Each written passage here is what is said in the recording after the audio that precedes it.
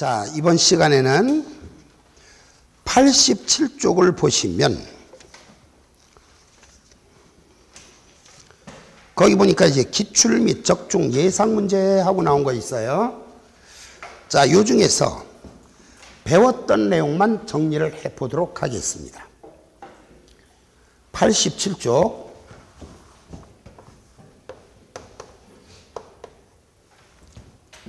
자, 1번. 다음 중 회계상의 거래에 해당하는 것들로만 짝지어진 것은 하고 나왔네요. 여러분들은 동글뱅이, 땡글뱅이 치던가 X 치던가 하는 게 좋은데 사실은 지금은 표시를 안 해두는 것도 방법일 거예요. 그냥 설명 듣고 집에서 한번 풀어보시는 게 더 좋은 방법일 수도 있습니다. 지금은 50만 원의 채무를 면제받다. 빚을 안 갚아도 되죠. 빚을 안 갚아도 되죠. 부채가 감소했으니까 거래네요. 2번 보유 중인 재고자산의 순실현 가능 가치가 우리가 앞에서 우리가 시가라는 표현을 썼는데 나중에 이렇게 말을 해요. 재고자산의 시가란 순실현 가능 가치를 의미한다. 이렇게. 그러니까 지금 현재는 아 순실현 가능 가치라는 표현이 있구나. 순실현 가능 가치라는 표현이 있구나. 이건 시가를 의미하는구나. 이렇게 기억하시면 돼요. 나중에는 예상되는 판매 가격에서 예상되는 추가 완성 원가와 판매 비용을 차감한 금액을 말한다. 이렇게 배울 건데 지금 현재는 시가로 받아들이시면 됩니다. 자, 그렇다면 보유 중인 재고 자산의 시가가 하락한 것은 거래예요, 아니에요? 거래죠. 상승한 건 거래가 아니라는 거 기억하시겠죠? 자, 그 다음에 1년분 보험료 60만 원을 미리 주다. 돈 줬죠? 거래네요. 월 급여 25만 원을 주기로 하고 종업원을 채용하다. 거래요, 아니에요? 종업원은 아무것도 아니에요. 사람은 자산부채 자본 수입 비용 아무것도 아닙니다. 왜 아닐까요? 사람은 자산 부채 자본 수입 비용 아무것도 아니에요. 왜 아니에요? 자, 이렇게 얘기했죠. 여러분, 자산 부채 자본을 합쳐서 뭐라 그래? 재무 상태. 그렇죠? 수익 비용 그리고 이걸 비교해서 계산한 이익 합쳐서 뭐라 그래요? 재무 성과. 그렇죠? 그다음에 제가 이렇게 물었죠. 자산, 부채, 자본, 수익, 비용 다섯 개를 합쳐서 뭐라고 합니까? 그럼 뭐라 했어요? 재무제표의 기본 요소라고 말을 했죠. 자, 재무제표의 기본 요소로 인식하기 위한 전제 조건 중에 하나는 뭐냐? 그 금액을 정확히 얼마인지 알아야 된다. 전문 용, 전문적인 용어로 뭐라 그랬어? 신뢰성 있게 측정할 수 있어야 한다 그랬죠. 그 금액이 정확히 얼마인지 알아야 합니다. 신뢰성 있게 측정할 수 있어야 하는데 사람은 그 금액을 신뢰성 있게 측정할 수 없죠. 아무것도 아닙니다. 근데 어, 신뢰성 있게 측정할 수 있는 곳도 있어요. 예를 들어서 그 뭐, 길 가는 사람 잡아다가 저기 뭐 어?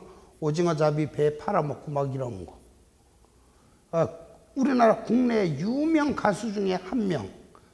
저한테 이제 배우 배웠던 유명 가수 중에 한 명이 있는데 인신매매범한테 잡혀가다가 끌려온 친구가 하나 있어. 잡혀가면서도 계속 그 생각만 했대. 호랑이 굴에 물려가도 정신만 차리면 된다. 호랑이 굴에 물려가도 정신만 차리면 된다. 결국은 비몽사몽간에 항상 그 약을 이렇게 주사를 했으니까. 그래갖고서는 이제 그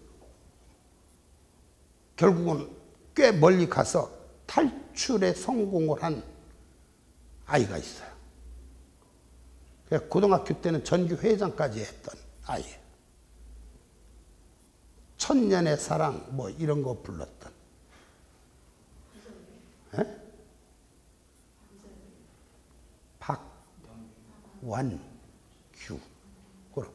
어쨌든 그 인신, 그 인신매매범들은 그 사람을 자산으로 봐요. 왜? 신뢰성 있게 측정할 수 있으니까.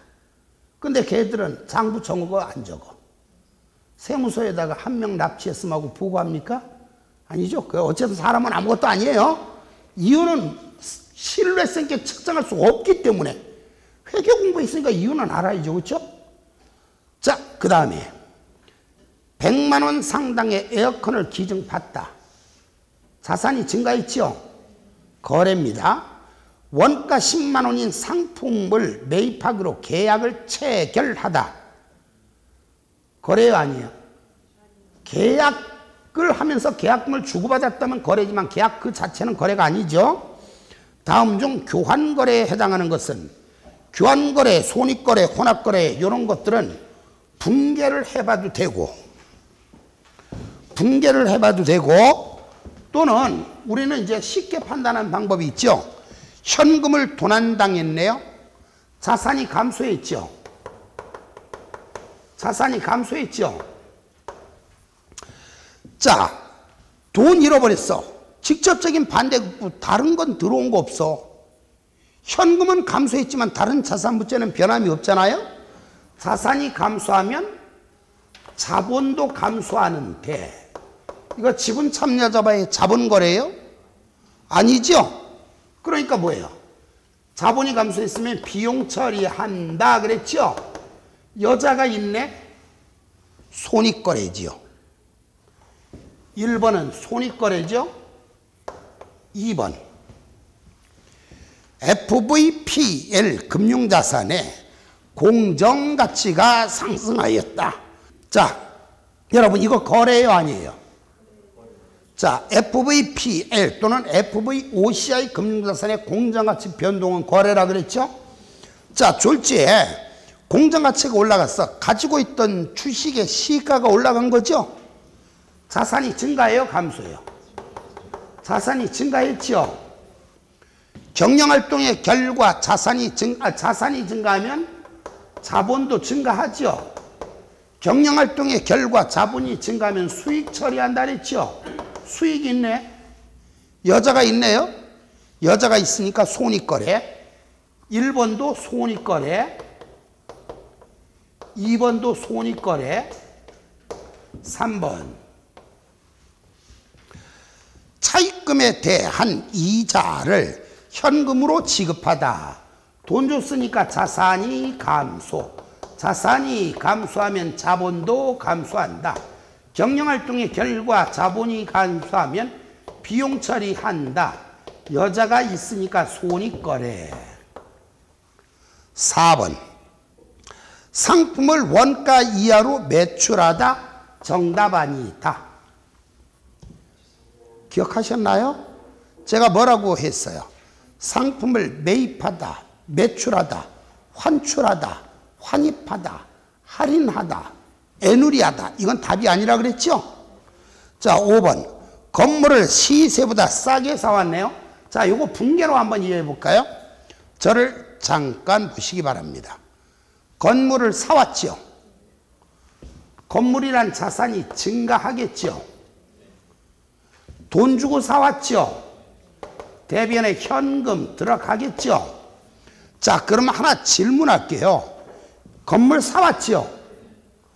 사올 때, 어허, 집중. 건물 사왔죠? 이익 보고 사왔어요? 손해 보고 사왔어요? 이익 보고 사왔어요?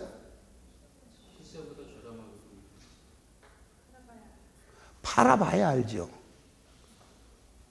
팔아봐야 알죠. 예를 들어, 자, 지금 100만원 지급했잖아요? 시세가 얼마든 100만원 지급했잖아요? 나중에 이걸 100만 원보다 비싸게 팔면 이익, 싸게 팔면 손실이죠. 그렇죠? 그래서 모든 자산을 사왔을 때는 차변에다 금액은 뭘 쓰는가? 사올 때 지급한 대가.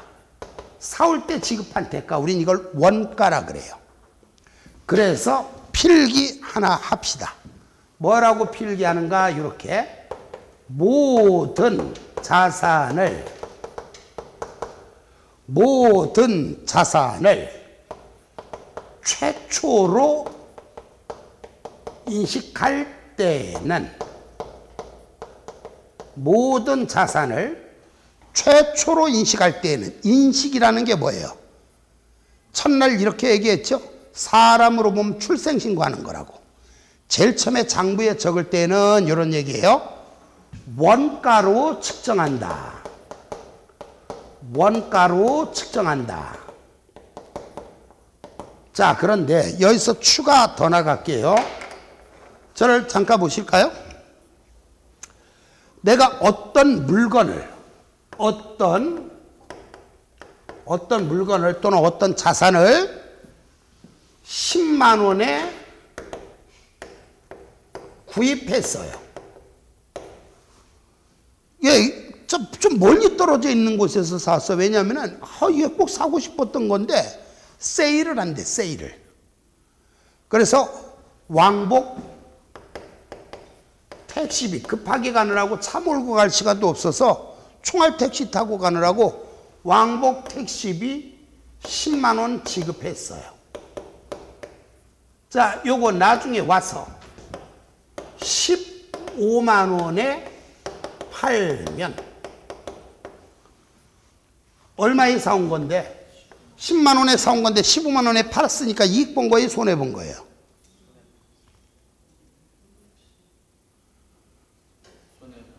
아, 손해 봤어요? 왜요? 이걸 사오기 위해서 어쩔 수 없이 비, 돈을 좀 써, 비용을 지급을 했잖아요? 그래서 회계상에선 자산을 취득할 때 지급한 비용, 취득을 위한 거래 원가라는 표현을 쓰는데 딱 하나. 자, 여기 FVPL 금융자산, FVPL 금융자산을 FVPL 금융자산을 제외한 FVPL 금융자산을 제외한 뭐 제외한 자산의 취득을 위한 거래원가 이론에는 정확히 취득을 위한 거래원가 이렇게 나와요. FVPL 금융자산을 제외한 자산의 취득을 위한 거래원가는 자산의 원가에 포함시킨다. 그 자산의 원가에 포함시킨다. 결과적으로 앞으로는 여러분 원가가 뭐예요 하면은 아, 기초 강의를 듣기 전부터 지금 원가 얘기를 들으신 분들이 계신데 원가 얘기를 미리 들으신 분들이 계신데 원가 얘기에서 말을 하는 자 원가란 원가 회계에서 말을 하는 원가란 제조 원가를 의미해. 그 자산을 만들기 위해서 쓴 비용을 다 더한 것을 제조원가라고 하는데 재무회계 시간에 말하는 원가는 제조원가가 아니라 매입원가예요. 매입원가라는 건 뭘 말하는가?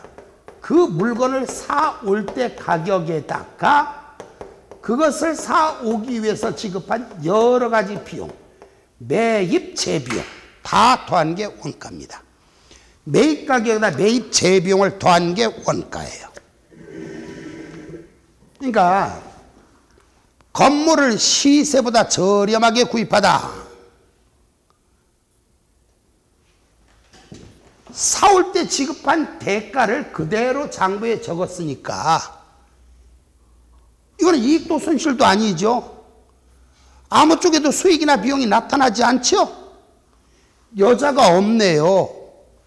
교환거래입니다. 3번 보겠습니다. 3번. 다음 중 보고기간이 종료된 후에 잔액이 존재한다면 오류가 되는 개정 과목은 하고 나왔네요. 여러분, 보고기간이 종료된 후에 잔액이 없어야 되는 거란 뭘 말하는 거예요? 임시계정을 고르란 얘기죠. 임시계정. 그럼 개발비가 나와 있죠. 개발비. 개발비는 무슨 계정이라고요?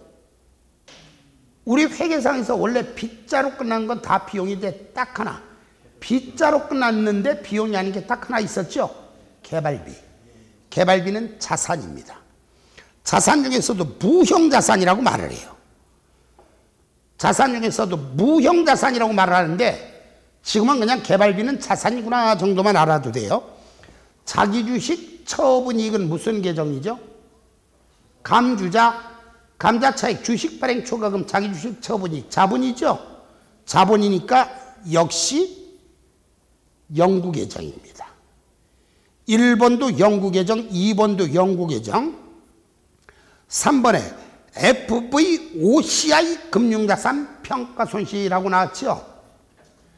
자, FVOCI, FVOCI 금융자산에 처분 손실이 아니라 평가 손실이에요.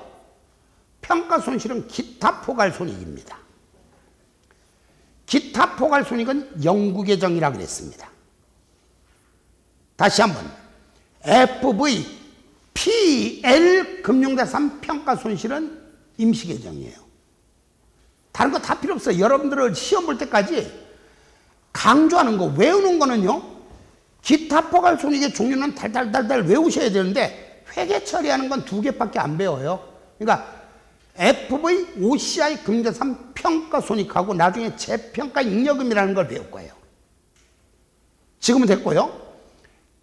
FV PL이 아니라 제발 착각하지 말고 FV OCI. 그것도 처분 손익이 아니라 평가 손익. 이건 기타 포괄 손익이라는 거. FV OCI 금자산 처분 손익은 당기 손익입니다.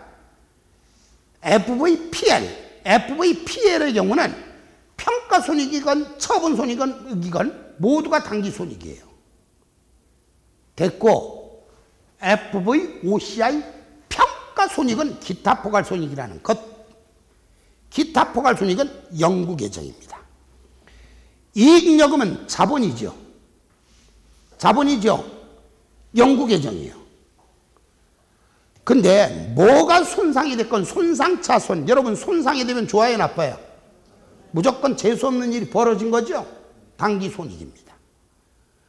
따라서 이것은 임시 계정입니다.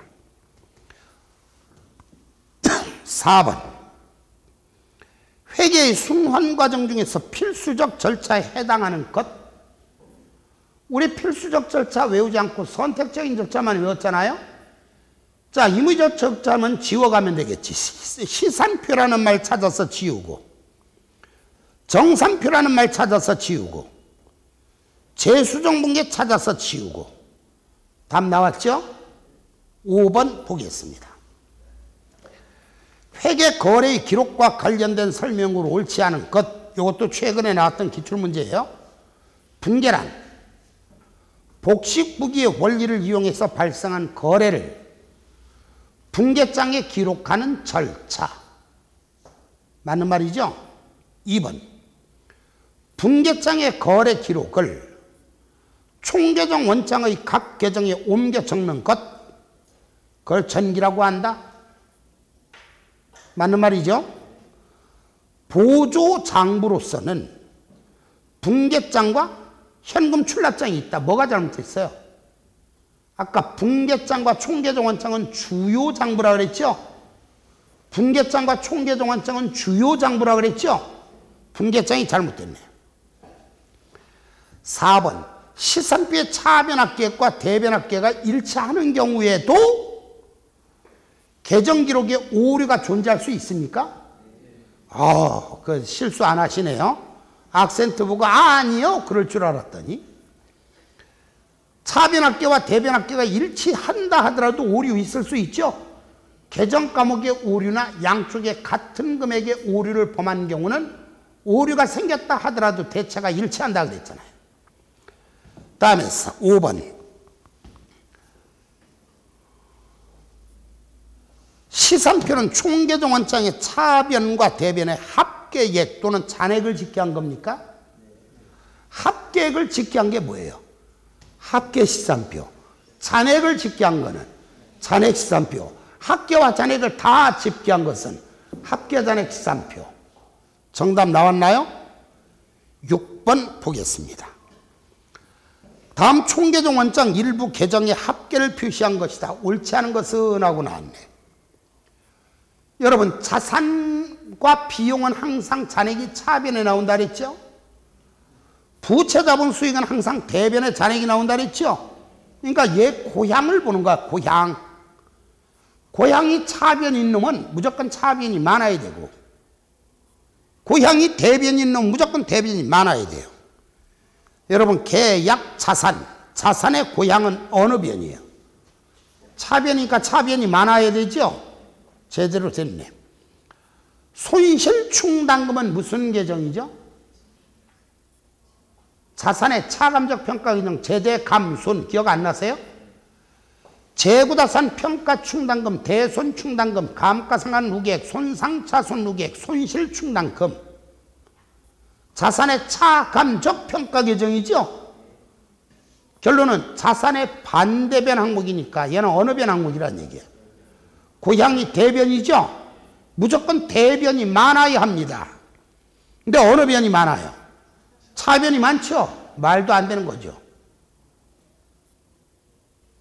3번 주식 발행 초과금 감주자 주식 발행 초과금 감주자 뭐예요? 자본이죠? 대변이 많아야죠? 당좌차월라고 나왔죠? 지금 현재는 이렇게만 쓰세요. 당좌차월 옆에다 화살표하고 이렇게.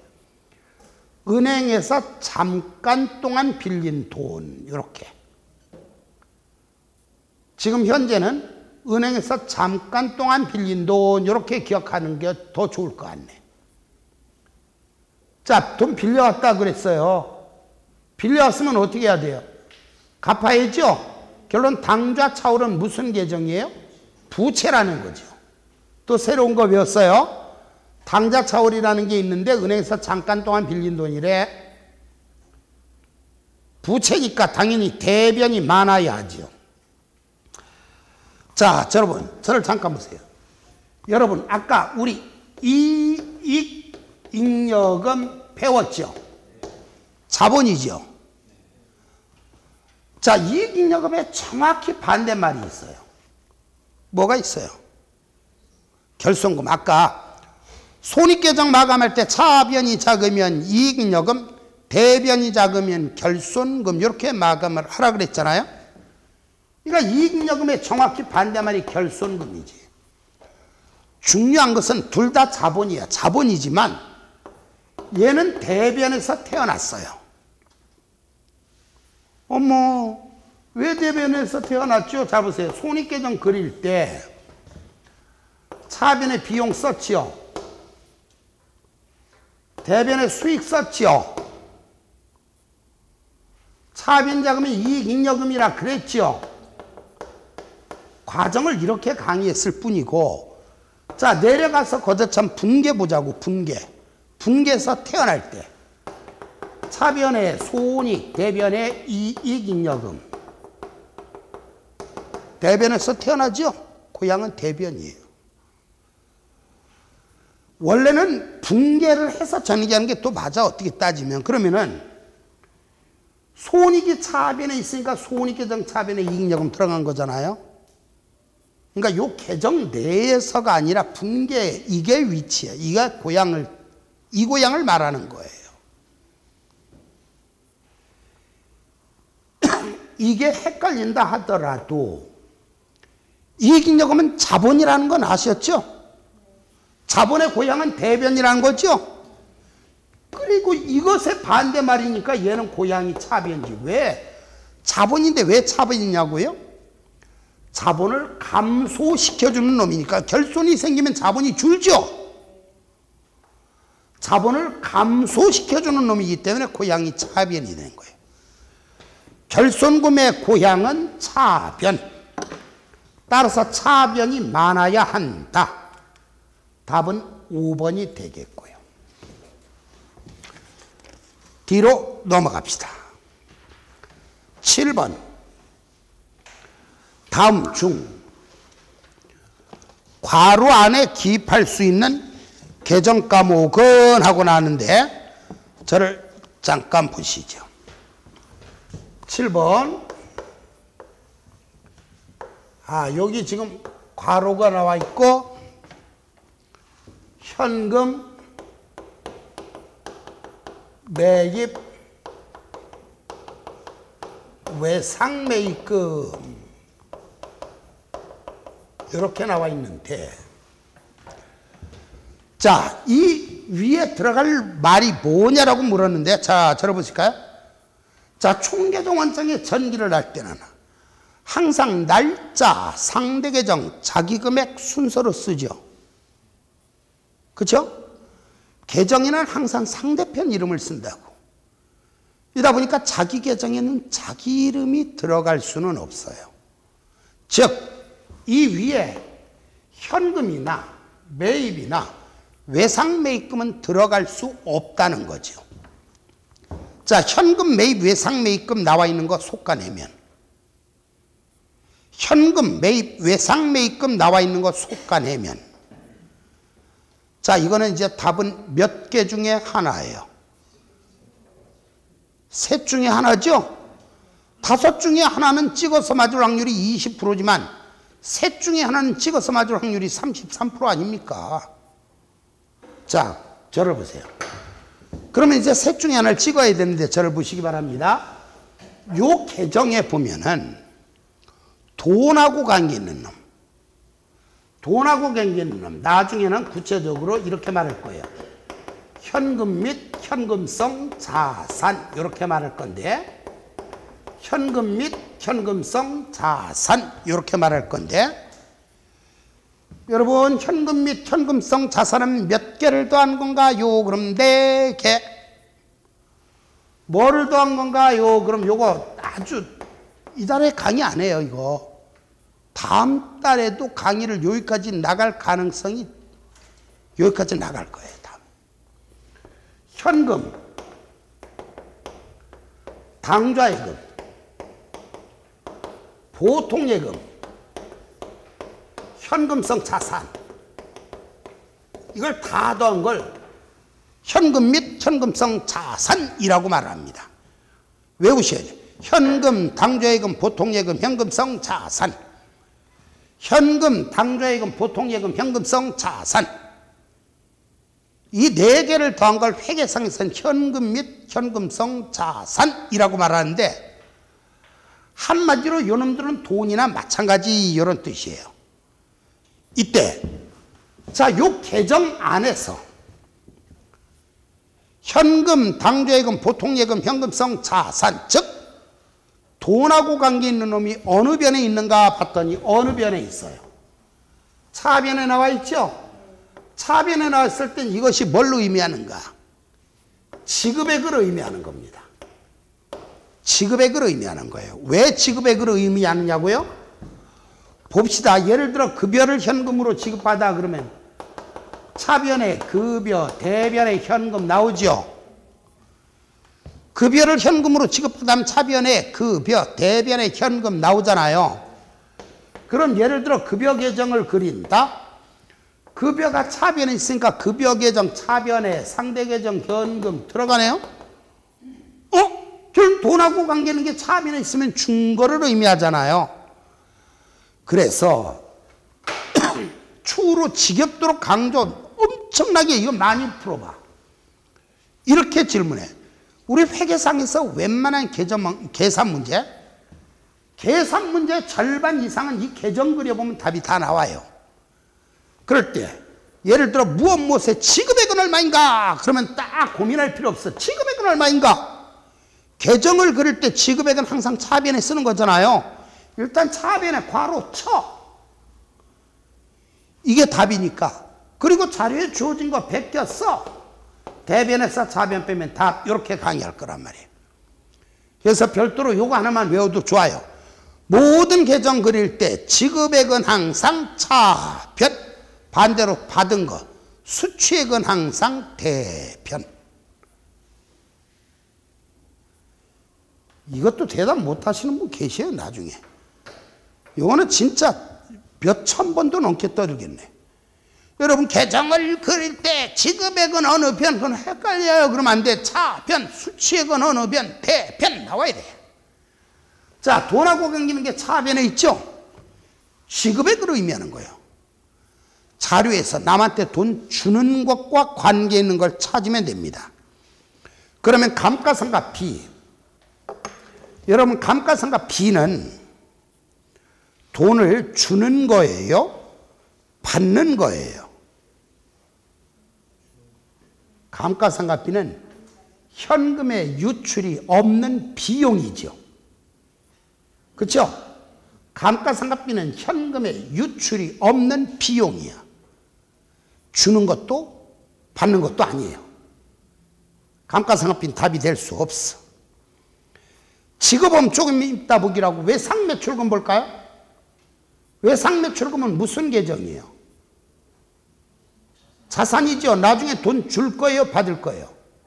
받을 거죠. 답 아니네. 그럼 지급보험은 무슨 계정이에요? 부채죠? 부채잖아요. 돈 줄 거예요? 받을 거예요? 주는 것과 관련이 있죠? 이건 주는 것과 관계 있는 게 답이죠. 따라서 정답은 2번이 되겠고. 8번. 숙달이 되면 사실은 계정을 직접 보고 추정하는 게 맞는데 오늘은 분계로 강의할게요. 1월 5일에 거래를 추정하래. 그럼 1월 5일만 찾는 거예요. 근데 만약에 계정이 하나만 나와 있다면 내려가서 걷어 차면 끝나는데 계정이 많을 땐 내려가서 걷어 차다 보면 정신없다니까 맞아 보면 정신없어요. 아까 얘기했잖아. 회계 문제 물으러 갔다 엄청 맞고 다녔던 거. 정신없더라고 이거. 자 1월 5일 찾으셨나요? 제일 처음에 무슨 계정 어느 변에 있어요?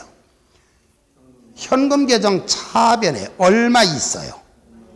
자 보세요. 현금 계정 차변에 5만 2천 원 있죠? 보세요. 현금 계정 차변에 5만 2천 원 있으니까 현금 계정 차변에 5만 2천 원 있으니까 차변에 현금 5만 2천 원 쓰고 또 1월 5일을 또 찾는 거예요. 무슨 계정 어느 변에 있어요? 대여금 계정 대변에 얼마 있어요? 저를 보세요. 무슨 계정 어느 변에 있다고요? 대여금 계정 대변.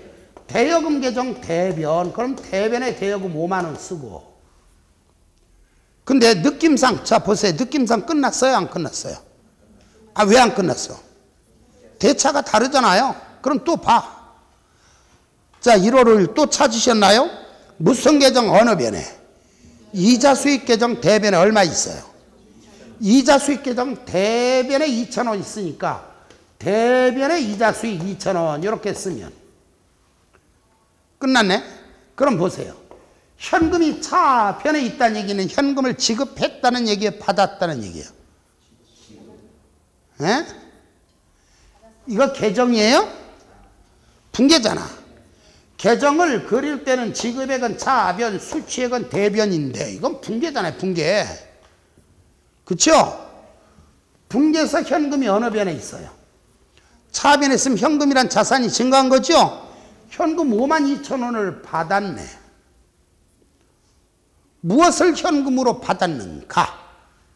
대여금 5만 원 하고 이자 2천 원을 현금으로 받은 거네요. 대여금 5만 원과 이자 2천 원을 현금으로 받다. 대여금 5만 원과 이자 2천 원을 현금으로 받다.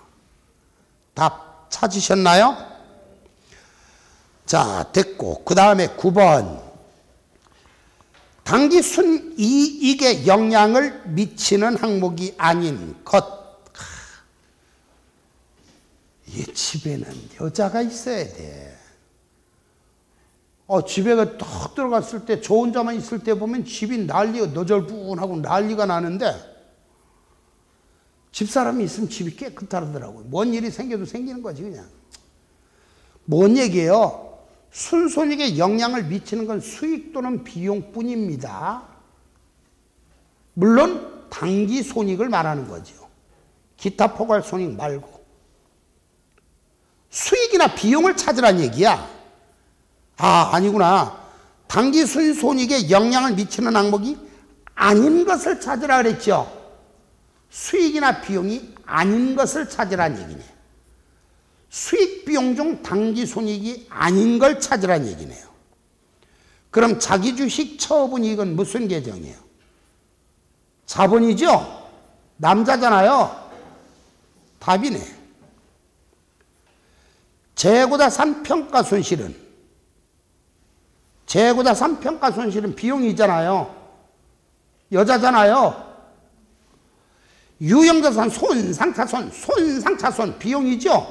여자잖아요. 자 아까 FVOCI 평가 손실은 기타 포괄 손익이지만 이건 FVOCI 평가 손실이 아니라 뭐예요? FVPL 평가 손실이죠. 단기 손익이죠.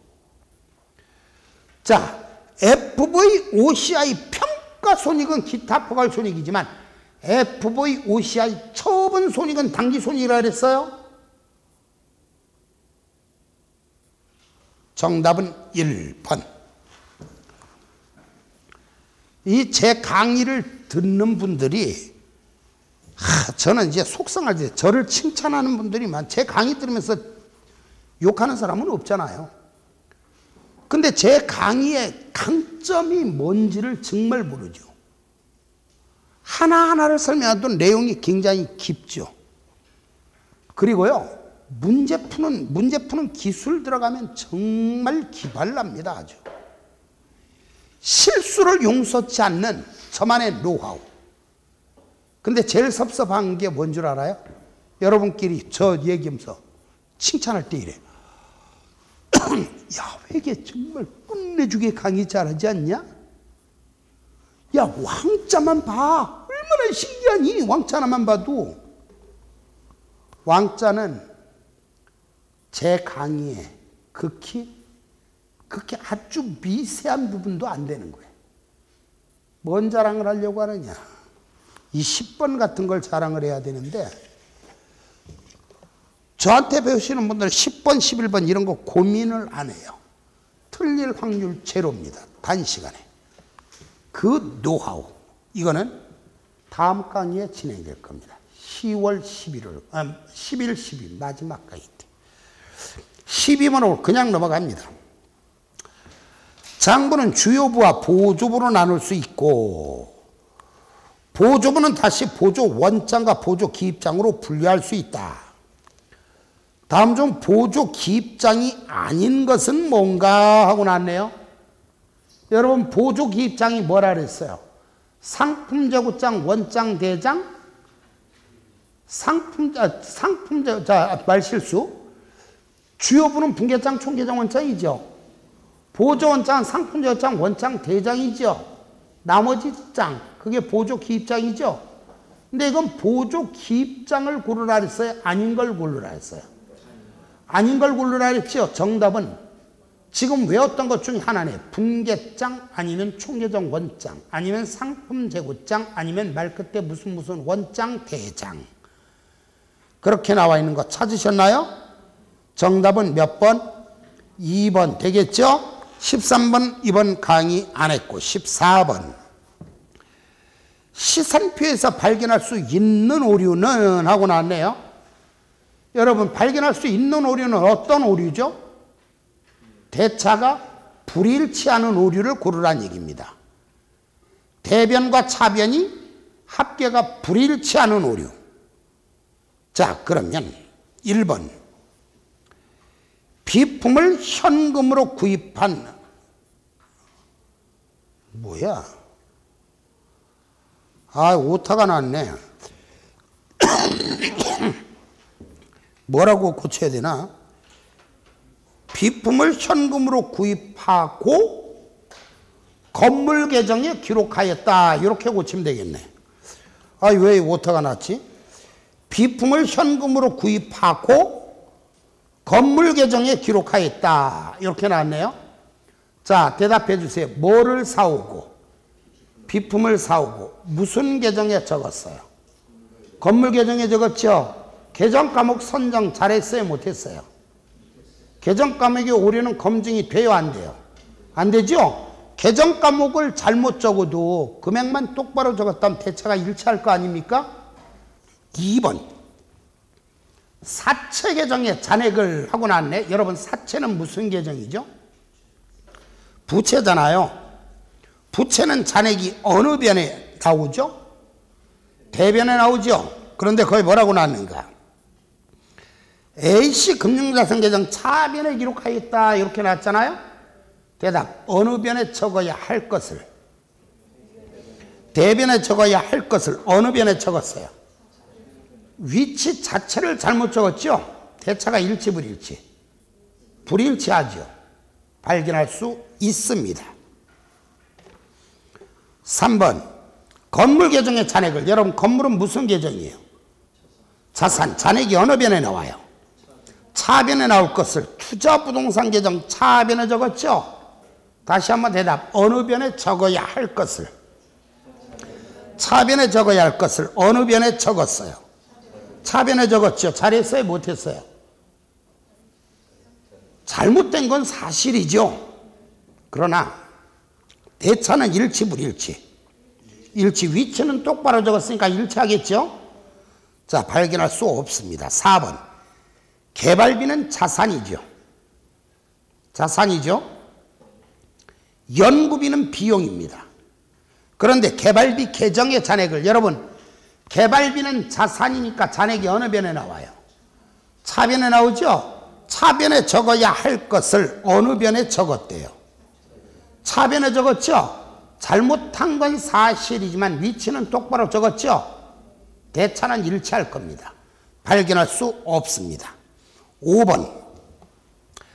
매입 채무를 현금으로 지급한 거래에 대한 회계 처리가 누락되었다. 여러분, 누락되었다는 얘기는 적어야 할 걸 안 적었다는 얘기죠? 어느 한쪽만 안 적은 게 아니라 거래가 통째로 누락이 되었죠? 어느 한쪽만 더 적거나 덜 적은 게 아니기 때문에 대차는 일치합니다. 발견할 수 없습니다. 뒤로 넘어가 봅시다. 15번.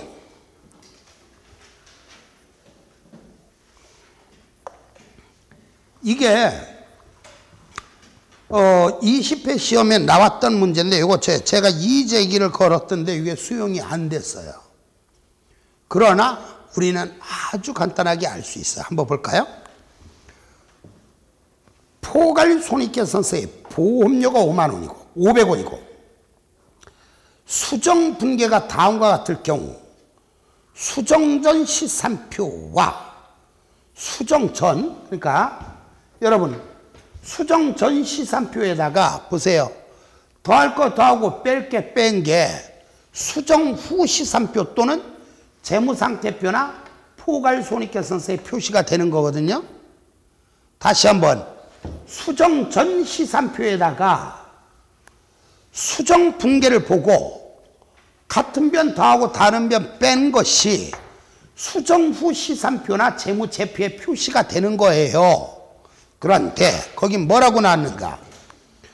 수정전 시산표와 기말 재무상태표에 선급보험료 금액으로 가능한 것은 하고 났어. 정확한 금액이 아니라 가능한 것은 하고 났어. 지금 금액은 뭘 물었어요? 선급보험료를 물었죠. 선급보험료를 물었죠. 자, 수정전 시산표는 선급보험료가 없죠. 거기 수정전 시산표 금액이 안 나와 있잖아요. 숨어 있어. 이건 무슨 이 자식들이 뭐 숨은 그림 찾기도 아니고. 근데 수정분계를 보니까 수정분계에서 선급보험료가 나왔죠. 어느 변에 나왔어요? 선급보험료는 무슨 계정이에요? 선급보험료 무슨 계정이냐고. 자산이죠. 선급으로 시작됐으니까 자산이죠. 선급보험료가 대변에 있다는 얘기는 자산이 증가했다는 얘기예요? 감소했다는 얘기예요? 감소했다는 얘기죠? 수정전 시선표보다 재무상태표의 금액이 300원이 적은 것이 답입니다. 이게 항상 이렇게 이런 거 이제 오늘은 우리가 수정 분계까지는 안 해봤는데 수정 분계하는 거 하도 그다 보면 늘었나 줄었나 빨리 판단하고 그것이 어디로 들어가는가. 자, 다시 한번 이거죠. 수정전 시산표에서 수정 분계를 보고 같은 변에 있는 놈은 더하고 다른 변에 있는 놈은 빼서 수정 후 시산표에 제, 어, 수정 후 시산표나 재무제표에 표시되는 것이다. 그런데 옛날에 수정 전 시산표는 선거법률가 얼마인지 안 나왔지만 수정 분계를 보니까 선거법률가 대변에 나왔죠. 찾으셨어요? 결론은 수정 전 시산표보다 재무상태표의 선거법률은 300원이 적어야 답이라는 얘기죠. 찾으셨나요? 자, 재무상태표의 선급보료가 300원이 적은 것, 재무상태표의 선급보료가 300원이 적은 것 찾으셨죠? 자, 그런데 제가 그 얘들이 그 행정 그 행정 심판을 벌여서 그 받은 답변, 그 얘들이 제시한 답변서가 저한테도 있습니다만은 얘들이 왜 답을 안 했는지 답변서가 있습니다만은 이거 분명한 건 오류 맞아요. 오류 맞는데 그 해설에 이렇게 썼어. 이 문제는 수정분계만을 이용하여 기말 재무상태표에 표시될 선급법률, 즉 수정 후 선급법률을 계산한 문제이다. 수정분계에서 선급법률 300원이 감소되었기 때문에 수정 전에 비하여 수정 후의 금액, 즉 기말 재무상태표나 수정 후 시산표에는 300원이 적은 금액이 들어가야 된다. 따라서 정답은 2번이다. 그리고 박스 안에 세세하게 써놨는데 됐고요. 맨 박스 아래 상기와 같은 이유에도 불구하고 본서에 이 문제를 수록한 이유는 수험생들에게 문제를 해결하기 위한 능력을 제고시키는 것이 그 목적이다. 아, 선거법률가 줄었구나. 준 것이 답이구나. 이렇게 찾는 연습을 한번 해보시라고 자 집어넣고요. 16번도 보겠습니다. 16번 다음 오류 중에서 시산표를 통하여 발견할 수 없는 거 여러분 발견할 수 없는 오류란 대차가 일치하는 오류예요? 불일치하는 오류예요? 발견할 수 없는 건 불일치하는 오류를 고르라는 얘기죠. 자 그럼 1번 10만 원의 임대료를 받고 그중 7만 원이 차기분에 해당되는데 결산 시 수정 분계를 안 했다. 분계를 안 했다. 어느 한쪽 거에 더 적거나 덜 적은 게 아니라 아예 분계를 안 했다. 대차가 일치 불일치. 분계를 아예 안 했다니까 어느 한쪽만 더 적거나 덜 적은 게 아니라 차변 또는 대변 어느 한쪽에 더 적거나 덜 적은 게 아니라 아예 분계를 안 했다면 오류가 있었다 하더라도 대차는 일치할 것이다. 그렇죠? 정답은 1번 되겠네. 그럼 나머지 볼까요? 2번. 30만 원의 매출 채권 회수 시 끙끙 계정 차변과 끙끙 계정 차변에 기입했다. 자, 지금 제가 왜 갑자기 미친놈처럼 끙끙 계정 이렇게 할게요? 무슨 계정이냐는 중요하지 않다는 거죠. 개정감의 구로는 발견이 안 되니까 그렇죠? 결론은 이건 어느 변과 어느 변에만 적었대. 차변과 차변에만 적었죠. 양쪽에 나누어 적은 게 아니라 차변에만 적었잖아요. 차변 합격이 더 많아지겠지. 3번 100만 원의 매출 채권 회수에 대한 분개를 하고 100만 원의 매출 채권 회수에 대한 분개를 하고 아니 뭐야 매출 채권 계정에는 썼지만 현금 계정에는 안 썼다. 여러분 양쪽에 적었대요? 한쪽에만 적었대요? 불일치하죠? 그 다음에 4번 55만 원의 매입채무 지급 시 현금 계정 대변에 55만 원을 적고 매입채무 계정 차변에는 50만 5천 원을 적었다. 대변에는 55만 원을 적고 차변은 50만 5천 원을 적었다. 일치 불일치. 양쪽에 다른 금액을 적었으니까 불일치하겠죠. 다음에 5번 200만 원의 비품 외상 구입에 대한 분개를 하고 끙끙 계정 대변과 끙끙 계정 대변에만 적었다. 일치 불일치. 제가 왜 끙끙 계정 하는지 아시죠? 무슨 계정에 적었느냐는 중요하지 않습니다. 자, 17번은 이건 굉장히 어렵고 얼마 전에 몇, 자, 최근에 우리 시험에 이렇게 문제가 나온 적은 있어요. 가로는 안 나오고 뭐라고 나왔는가? 집합 손익계정 차변합계가 25만 원이고 대변합계가 30만 원인 경우에 마감분계로 오른 것은 자, 괄호가 안 나와 있고 가로가 나와 있는 경우는 답이 틀려져요. 저는 이제 거기까지 강의를 할 건데 자, 됐고요. 여러분 집합 손익계정 차변 합계가 얼마래요? 25만 원. 대변 합계가 얼마래요? 30만 원이라고 그랬죠? 어느 변이 작아요? 차변이 얼마가 작아요? 5만 원이 작죠? 차변 작을 때 뭐라고 마감하라고요? 이익여금이라고 하라 그랬죠? 마감 분계 해볼까요?